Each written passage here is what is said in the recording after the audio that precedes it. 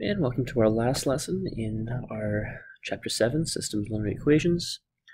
We're going to look at 7.6, Properties of Linear Equations. So, so far we've been looking at equations or systems that have exactly one solution. So there's only one value of x and one value of y that is going to satisfy both equations.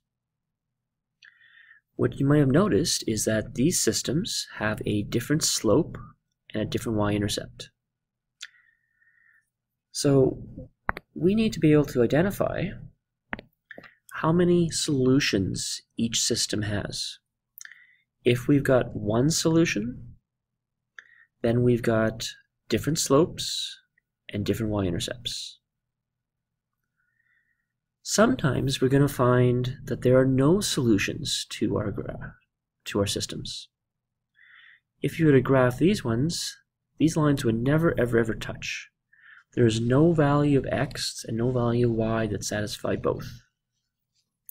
Now, if we graph two lines and they never ever touch, never ever cross, we call them parallel lines. So you think, how do we get parallel lines on a graph? Well, they have to have the same slope because they can never touch, but they need different y-intercepts. So if you've got a same slope but a different y-intercept, you've got a parallel line. Parallel lines have no solutions. And sometimes we've got uh, infinite solutions.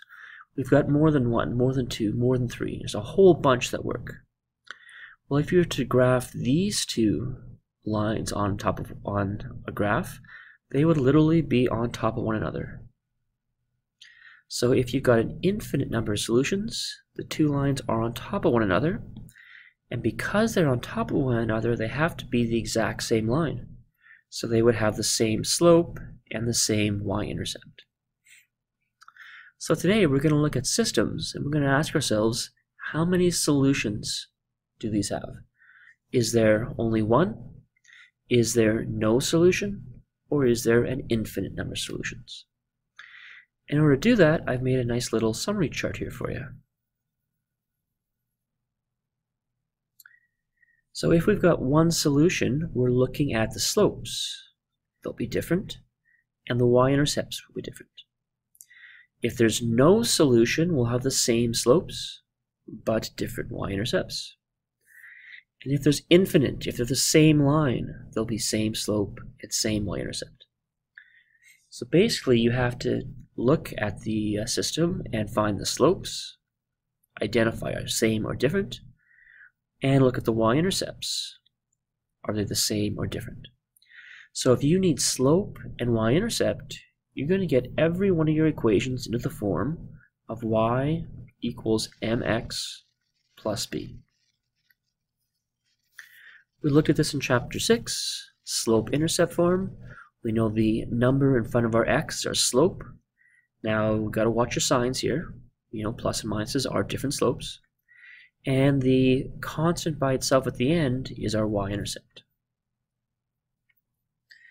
So let's look at our first example here. How many solutions does the following system have? So we're looking for one solution, no solution, or infinite solutions.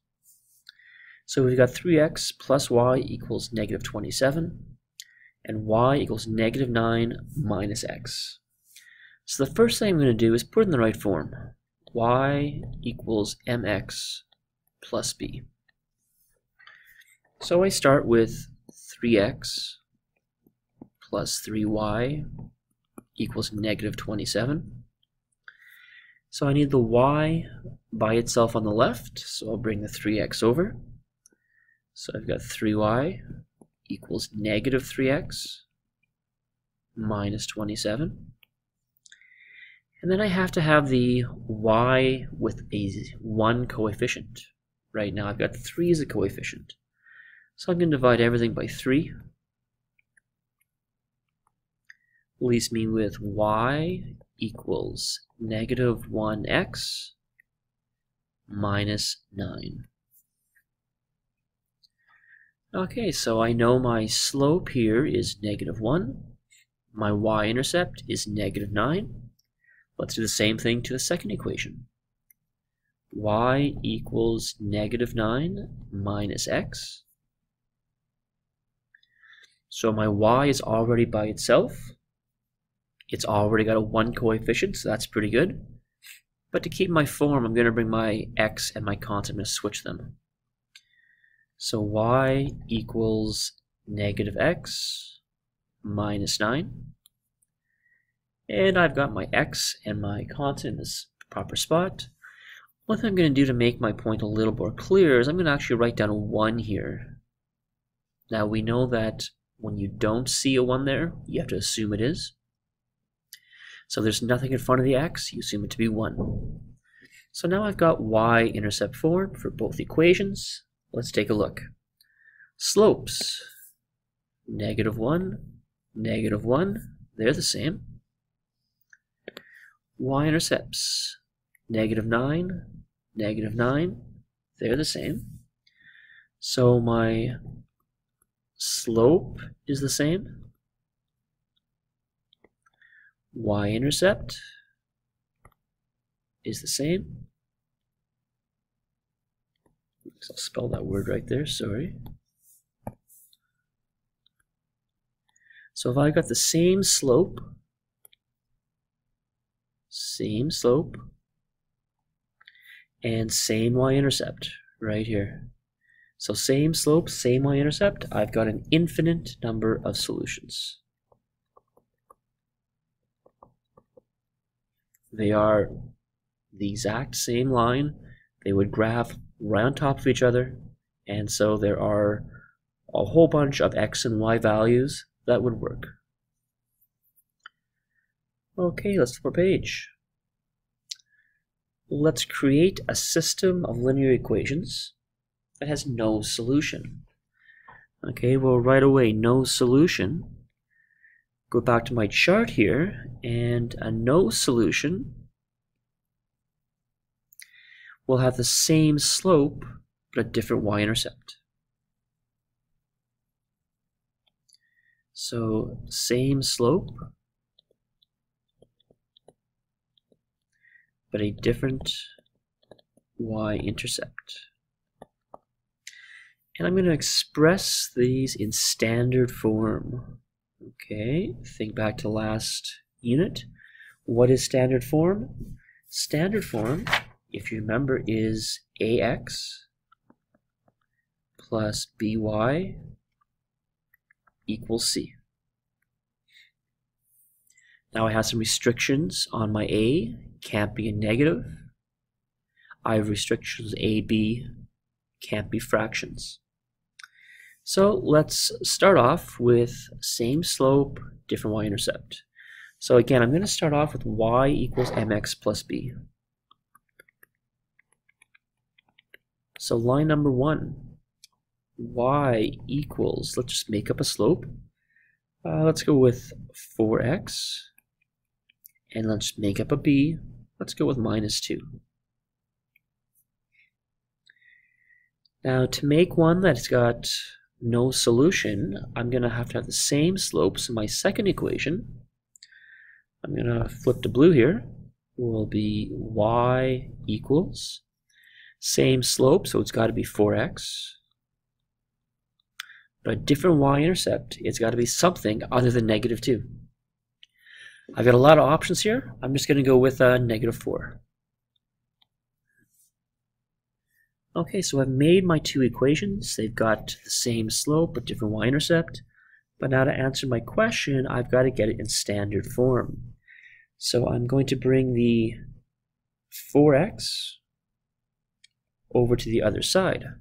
So this becomes negative 4x plus y equals negative 2.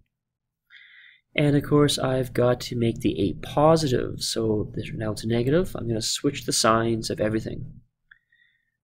4x minus y equals 2.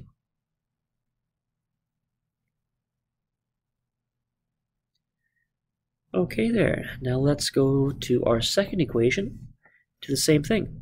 We'll bring the 4x over.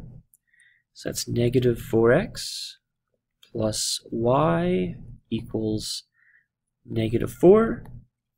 Gonna take away the negative, gives me 4x minus y equals positive 4. So I've now meet, met all my requirements. I'm going to have same slope, different y-intercept in standard form. 4x minus y equals 2, 4x minus y equals 4.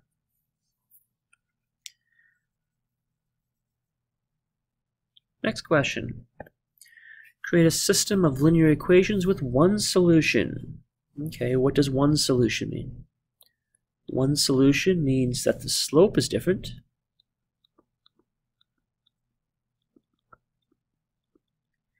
And it means that the y-intercept is different.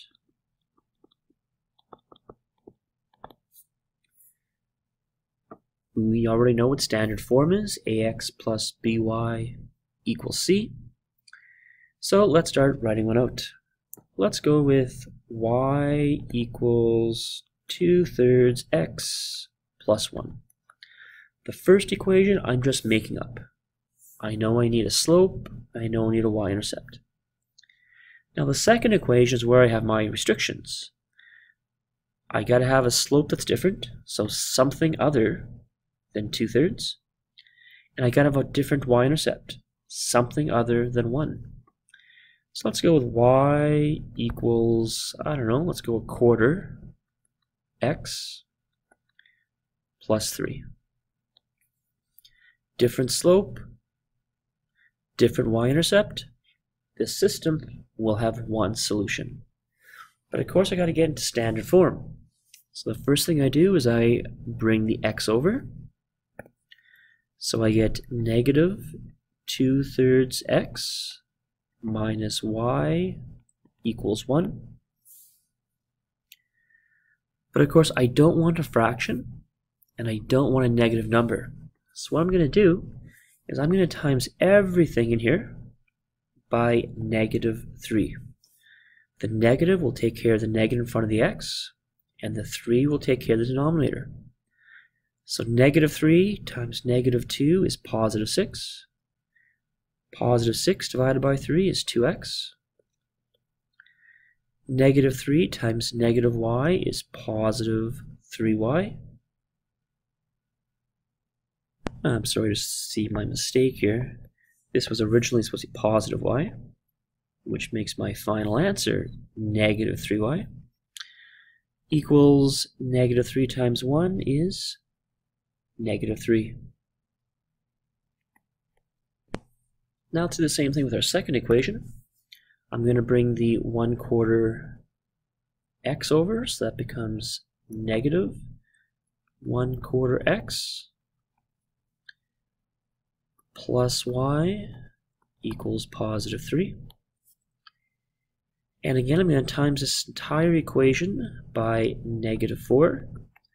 The negative and negative will make it positive, and the 4 and the 4 will cancel out. That'll leave me with positive x minus 4y equals negative 12. So I've got a different slope, a different y-intercept, both in standard form. So I'm doing pretty good here.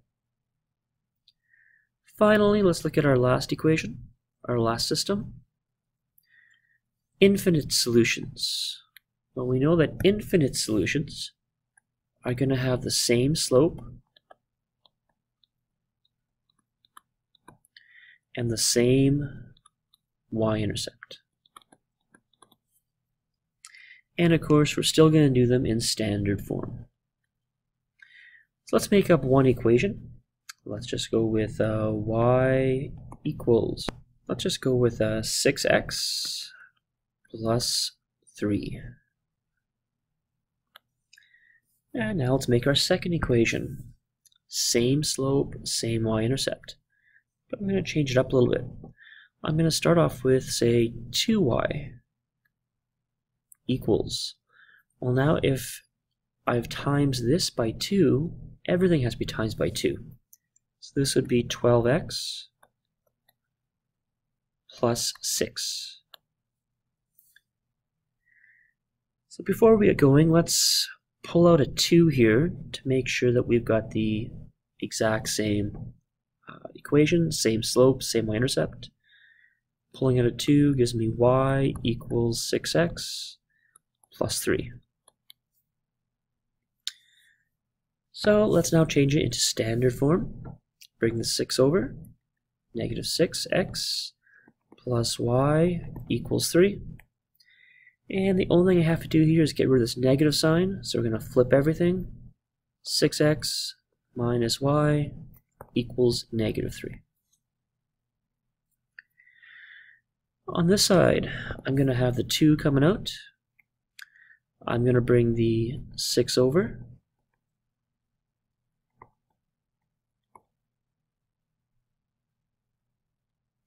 And then I'm going to take care of that negative sign, which means I've got 6x minus y equals negative 3. And yes, I've got the same slope, same intercept, so I've got the exact same line. Okay, let's go to our textbook. Let's go to page 448. Let's do 2 from the A's, 5 from the B's, and 1 from the C's.